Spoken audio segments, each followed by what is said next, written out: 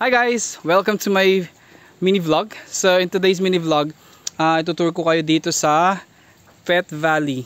Kasi namatay yung 8-year-old lab ko and ipapakremate ko siya dito sa Pet Valley. So uh, I'll give you a tour. Napaka-serene nung place. Um, maganda yung place. Nakaka-relax para do sa mga pet lovers na um, who are grieving for the loss of their of their beloved um, dogs. Marami siyang pine trees dito guys. Ayan. Ayan. Ang dami niyang pine trees. Ayan. So, I'm with my cousin. Ito siya. Ayan. Ayan siya guys. Before, yung unang pinakremate ko yung aso ko dito, um, siguro that was 7 years ago. Papi pa lang nun yung aso ko ngayon na namatay. Labrador din. Hindi pa ganito yung itsura niya. Pero ngayon, ito na, napakaganda na niya. Ayun. Ayan siya guys. Ang dami yung pine, ang daming pine trees dito. Sobrang dami. Ayan oh. Tapos meron silang cafe dito. Ayan. And meron silang sign na welcome guest. And then you will find a lot of of place to rest. Ito may mga upuan. Tapos may cottage na ganyan. And of course, this yung ito yung welcome area na. So, bababa tayo dyan for uh, the crematorium or crematory area where they um, do the cremation of your pets. Ayun, ang daming halaman. Ayun yung mga pine trees. So, ang gaganda niya. Sobrang ganda niya. Dito, picture nga ako din. Ayan. And then guys, meron silang mga ganyan, ah, mga bird cage. And And this is so nice. This is really a nice place to to visit. Tapos ito yung isang cottage nila. Um, wait lang, medyo hindi kita yung cottage. Ito, and where you, where you can rest while waiting for your beloved dog to be cremated. Ayan, ayan yung cottage. Tapos ito yung crematorium na. Ayan, meron din silang dalang hita. Ayan. Marami silang tanim dito. Medyo mataas yung pinasukan natin. Pababa kasi itong crematorium nila. Tapos meron silang ganyan. Oh. Ito. And then they have sign na ganito. And just for information. So kung yung dog mo is 8 years old, sa large breed, 55 years old na siya. So ibig sabihin, namatay yung dog ko, 55 years old. Medyo bata pa siya.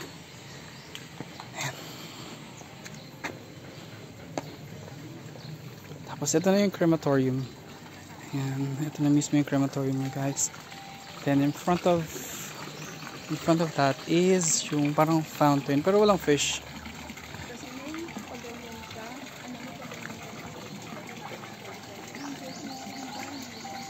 And wala naman siyang fish pero and then ito na yung entrance ng crematorium. Ito siya. Ayan. I'll update you guys pagka kikremate na si Robbie. Ay, I mean si Bridget. So ito yung loob ng crematorium guys. Ayan, ito yung loob ng crematorium.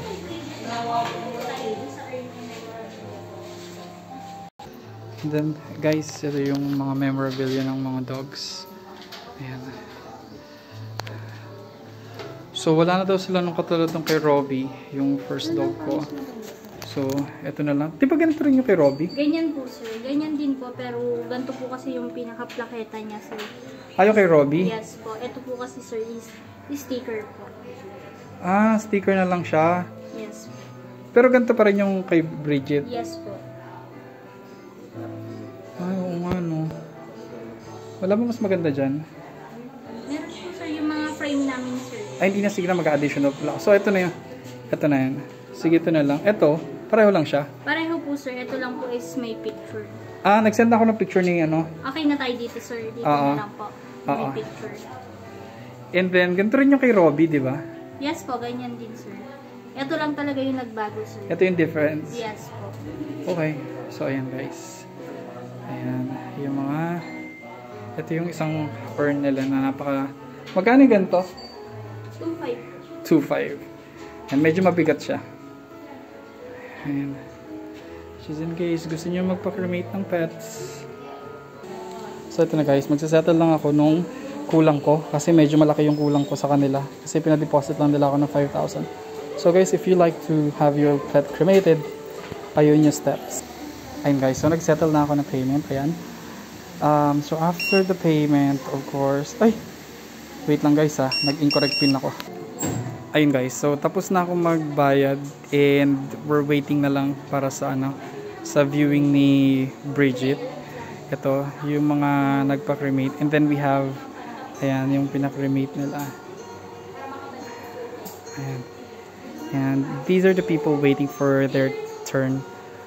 Ayan. Update ko kaya pag nasa viewing na ako ni Bridget. Um, so. Pupunta na kasi sa mini chapel nila uh, for uh, Bridget's viewing. Ito yung place. Ayan.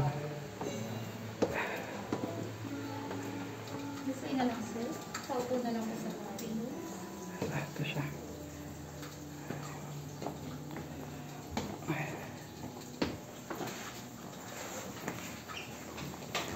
So this is uh, mini chapel.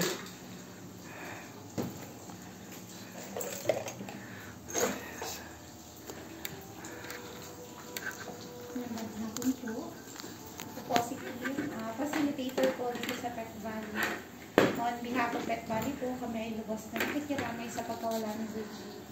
Tayo po ay narito ngayon upang hindi po siyang ah, masilayan at makasama sa huling pagkakataon. You'll have a private moment po, then later mag-offer po tayo ng prayer para po sa kanya. Saan ko lang po? So, ito si Bridget. Medyo na-freeze siya na matagal.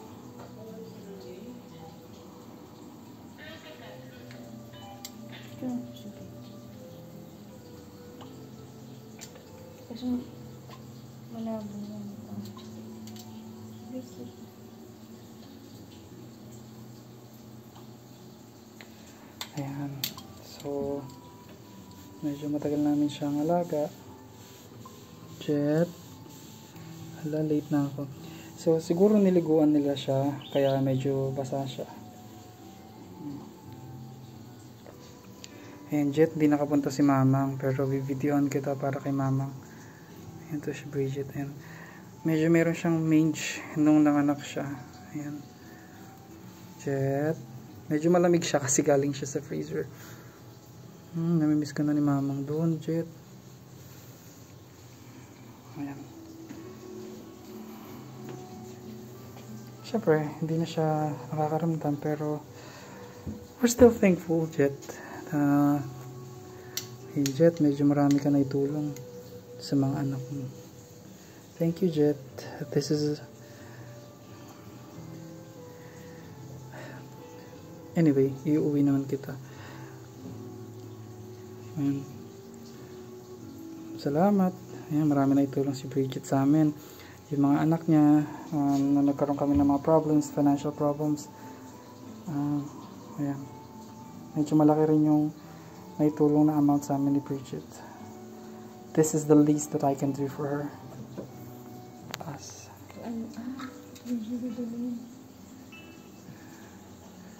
Ito pa rin yung picture na namatay si Robbie like 7 years ago. Ito, dito rin siya nakalagay si Robbie. Ayan, magkasama na kayo ni Robbie. Tsaka ni Papang.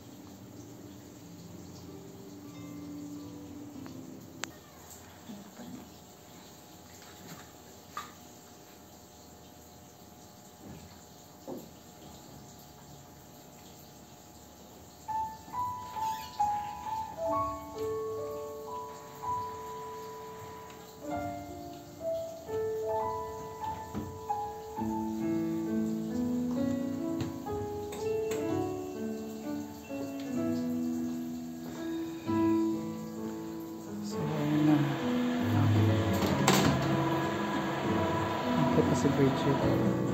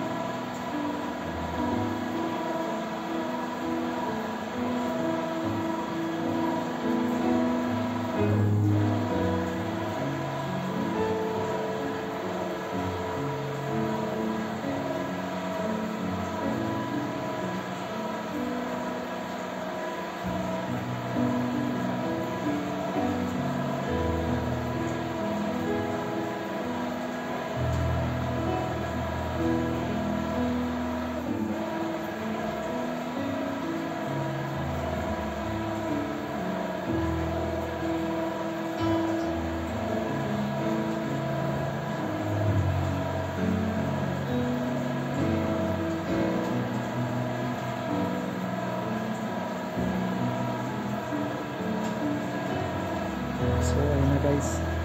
Naiyak na si, naiyakat na si Bridget uh, for the cremation.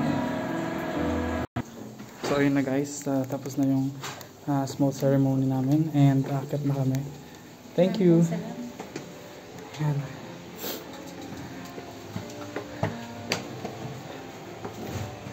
Um, pauwi na rin kami. So yun guys, so tapos na yung um, cremation, ah hindi pa tapos yung cremation, ngayon pa lang siya cremate pero i-deliver na lang daw siya, pauwi na kami. So guys, if you like the video, please do subscribe to my channel. And if you have something to to that you guys want me to to vlog, just let me know. Thanks again for watching. Bye.